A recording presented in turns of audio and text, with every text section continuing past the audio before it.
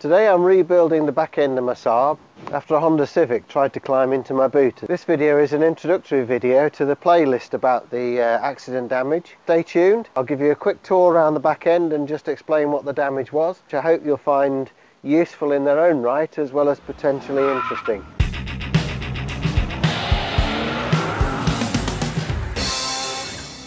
The Honda hit me pretty much square on in the middle of the uh, bumper and as you can see it's destroyed the bumper here.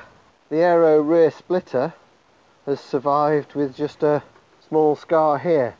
So uh, at a later stage I'll separate it from the bumper and uh, I shall keep it as an emergency spare or in case anybody else needs one because they're like hen's teeth those things.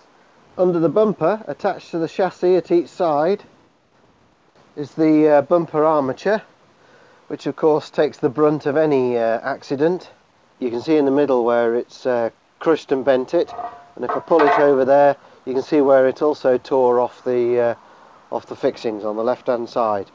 Being pushed forward, where the bumper fits in round the uh, bottom of the lights and the bodywork into this uh, bracketry, the clips that hold the bumper in, quite a few of them are broken. There's one that's not, so I need to replace all of that and having been pushed forward where the bumper attaches to the wheel arch liner the uh, the wheel arch liner has uh, snapped and broken in places where it's attached. So the wheel arch liner also needs replacing.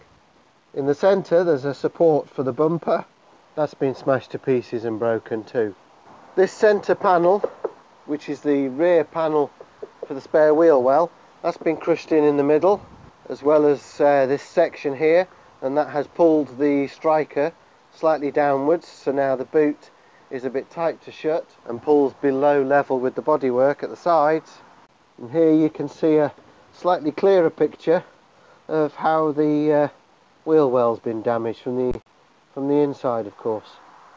About the worst part of this episode for me is that the uh, the Honda driver that hit me was uninsured and untaxed I've reported it to Dibble of course so no doubt he'll get clobbered in the courts. But that leaves me having to sort my car out. So I've had to make a claim on my own insurance. They of course have written it off uh, and I'm buying it back. Follow this playlist through and you'll be able to see the various stages of the back end of the car being rebuilt and various things being put back on. I hope you find it useful or interesting or both. Sad maybe